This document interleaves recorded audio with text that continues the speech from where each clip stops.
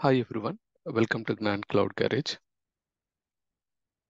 In this session, I'm going to talk about what is Red Hat ACM for Kubernetes and how to install ACM on OpenShift. Okay, in our previous sessions, we already talked about how to configure and install Red Hat OpenShift using IPI method, installer provision infrastructure method. So we already have OpenShift cluster in our lab. Now we are going to install a ACM on OpenShift. So before going to install, we should understand what is Red Hat ACM first. ACM means Advanced Cluster Management for Kubernetes. So within the OpenShift, we can configure only one cluster. It comes with a by default three master nodes three worker nodes that is one cluster suppose in future uh, in our, customer environment or on premises private cloud or hybrid cloud environment if the customer is scaling up the existing open cluster to multiple open clusters we require a management tool one best example is let's say we have one ESXi host, one cluster or multiple clusters. So for centrally managing all the ESXi host clusters, we are using vCenter tool. Similarly, to manage multiple OpenShift clusters, we require a Red Hat ACM advanced cluster management. Okay, so this advanced cluster management, uh, let, before understanding, we'll have a quick recap what is Red Hat OpenShift portfolio overview? We already know OpenShift, Red Hat OpenShift Kubernetes engine can be run on physical environment, virtualization, private cloud, public cloud, and edge environment. And the base OS can be either Red Hat Enterprise Linux or we can use Red Hat Enterprise Linux Core OS okay and this is like it comes with your OpenShift Kubernetes engine. Suppose our license edition is OpenShift container platform, we'll have a, some additional benefits like managing workload, build cloud native apps, data driven insights, developer productivity. And another method is another licensing feature is OpenShift Platform Plus. This Platform Plus comes from here to all these features. And within the Red Hat OpenShift Platform Plus, one of the main key feature is Red Hat Advanced Cluster Management. Okay, it have capabilities of observability, discovery, policy, compliance, configuration, and workloads. And in addition to the OpenShift Platform Plus ACM, we also have ACS Advanced Cluster Security and also Global Registry feature, which is called QA, QUA by QA. So all these are the as part of the OpenShift portfolio overview. So with interest of our time, I'm just focusing on one component that is advanced cluster management for Kubernetes. Okay. So here is the one quick diagram to illustrate advanced cluster management. If you see, as we know, OpenShift advanced cluster management is comes with a OpenShift platform plus license when you have this license OpenShift Platform Plus, it will allows you to manage not only a one cluster, we can manage multiple clusters. So cluster one, two until cluster N. So this infrastructure can be, this OpenShift clusters can be run on either bare metal, that means physical, or it can be run on vSphere VMware platform, or it can be run on any private cloud, public cloud, even the hybrid cloud environment, wherever our OpenShift cluster is running, all these clusters can centrally managed using ACM. Okay, that is the definition of Red Hat ACM. So let me, uh, whatever point we discussed, let me show you the some descriptive points now. So as we got an idea now, ACM means it's a single console control. So manage clusters and application from a centralized console, simplifying the management process. It's correct. And also it will help you to enhance the security. So built-in security policies provided an added layer of protection for your clusters and applications. And scalability and flexibility. That means let's say we have initially we starts with two clusters. Later you can add multiple clusters as well. So extend the capabilities of red hat openshift by deploying applications and managing multiple clusters easily. So this cluster can be either bare metal or you can run it on vsphere environment or you can run it on a public cloud as well okay so policy enforcement so enforce consistent policies across multiple clusters so ensuring compliance and maintaining a standardized environment okay? And the compliance and monitoring so red hat solution helps you to stay compliant with regulations and provides monitoring capabilities to track usage and performance okay? That is also one of the feature in acm and another feature is consistency and standardization maintain consistency across your clusters and ensuring applications and configuration align with your desired standards okay? And as we discussed it's included with red hat openshift platform plus license only. And advanced cluster management for kubernetes is part of a comprehensive suite of tools and providing powerful features to secure, protect, and manage your applications effectively, efficiency, and optimized way. Okay. And now we'll talk about how to install ACM Advanced Cluster Management on OpenShift. Okay, so in our lab environment, our OpenShift cluster is running on vSphere environment, and now we are going to configure the advanced cluster management for Kubernetes now okay and here one key point is red hat acm is available as an operator and can be installed on a OpenShift cluster. So operator means generally these operators can be found in a OpenShift hub. So let's log into our lab system. Let's say I log into our Red Hat OpenShift cluster. So this is running on our vSphere platform and we are running with a uh, one of the vCenter server. It's uh, within our OCP. We are running three masters and three workers. Okay. When log into the OpenShift management console, once we log in, if you see in the left side section under the, we have a two types of tab, administrator and developer view. I'm just selecting the administrator view. Within the overview, we can see that our cluster version is 4.13.4 and it is evaluation version 60 days trial period. Okay. And uh, this is the latest version from Red Hat OpenShift 4.13.4. And if you go to the left side, if you select the compute, we can see how many nodes. Same like um, from vCenter level, three master, three workers. We can also see from here, we have three masters and three workers. Okay, so master means three control plane VMs and also the three worker node VMs. Okay, so now we are planning to configure a Red Hat ACM. So as we discussed, Red Hat ACM is available as an operator. So operator means we have to open, go to the within the administrator menu, go to the operators tab and select operators hub.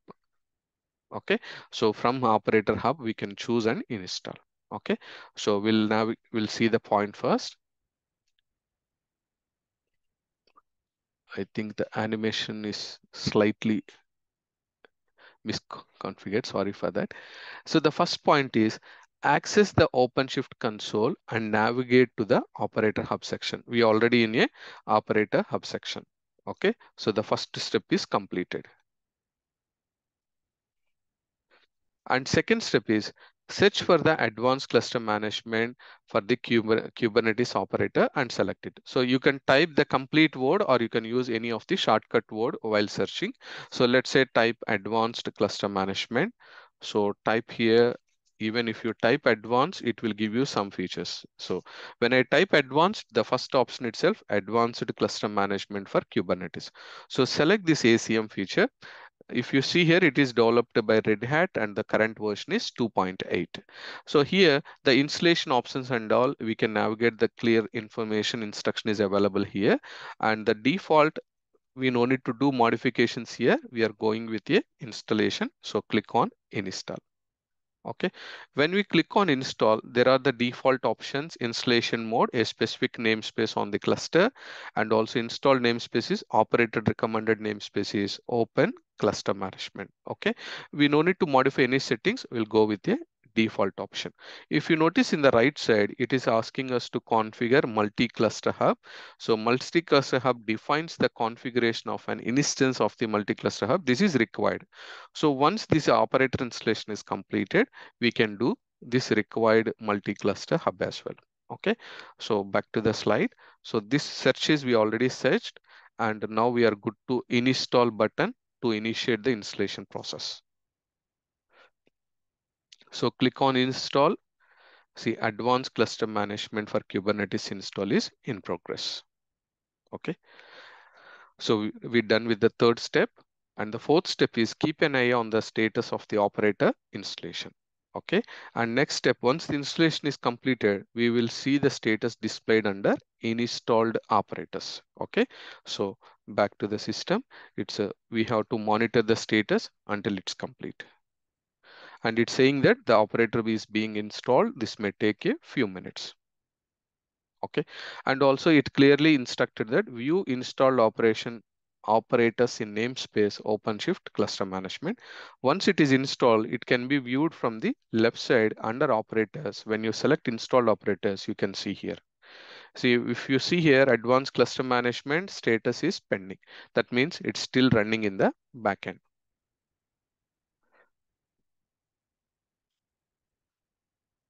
So currently install ready, installing state.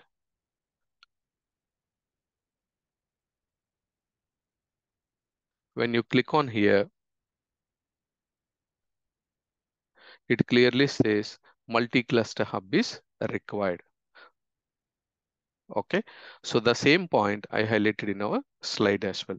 So to utilize the cluster management features, we need to create a multi-cluster hub instance. Okay, so back to the lab system. So we can create this one. Just click on here, create multi-cluster hub. So when you're creating multi-cluster hub, default name is multi-cluster hub and the project is selected as open cluster management and we can go with the default options click on create. Okay so currently status is in it is not showing any status. It may take a while to complete. Okay. So we have to monitor the status so same point highlighted here. Monitor the status of instance installation, which typically takes approximately 10 minutes to complete. Okay. So another point is upon successful installation, we can find the advanced cluster management option in the drop-down menu and click on it, open the console to access the functionalities of Red Hat Advanced Cluster Management. So these two options will verify See, phase is currently multi-cluster hub installing in, in progress. So as mentioned in the slides, it may take around 10 minutes time. So in the meantime, when I click on installed operators again, we can see advanced cluster management section is showing as succeeded. But we have to wait until the multi-cluster uh, multi-cluster hub status should be ready state or succeeded state.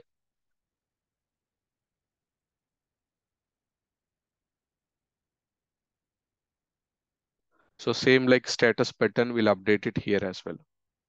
Okay.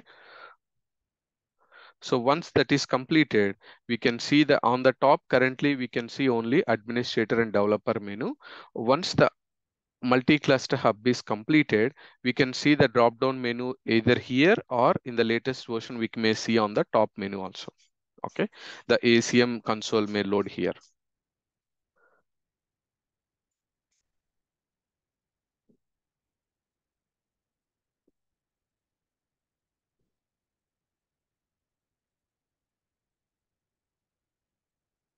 So for this ACM, our cluster will become as a local cluster. Whatever the clusters we added in future, all become as a additional clusters. Like first one is local cluster one and the other clusters are cluster two, cluster three, and so on. So we'll monitor the status from here. So it is running.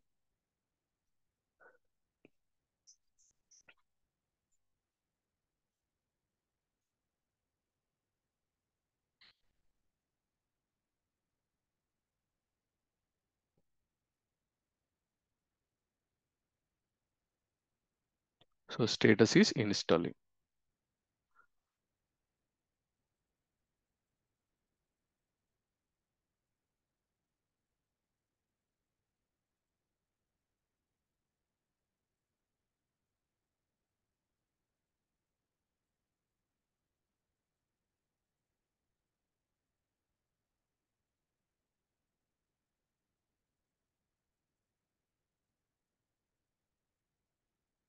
I'm just refreshing the page to update the status.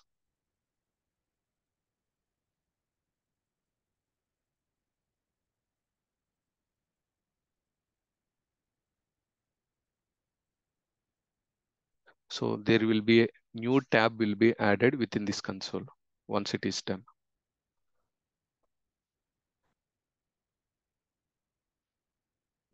Let's back to the slide. Hope this installation is uh, quick, uh, easy installation only. From the operator hub, we selected the advanced cluster and click the install.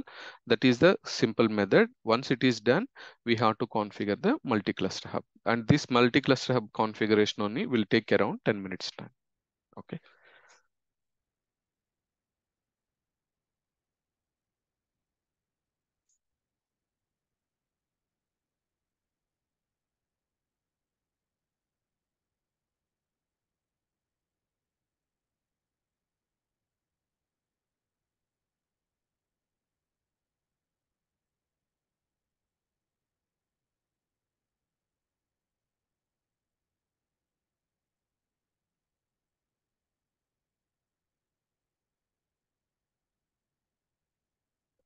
So in the meantime, we'll monitor, verify the section from the SSH as well. Suppose, let me connect to the one of the OpenShift helper VM. So if you see in the console screen, it says web console update is available. This has been update to the web console. Ensure any changes have been saved and refresh your browser. That means some new change is going to update it here. So just refresh web browser.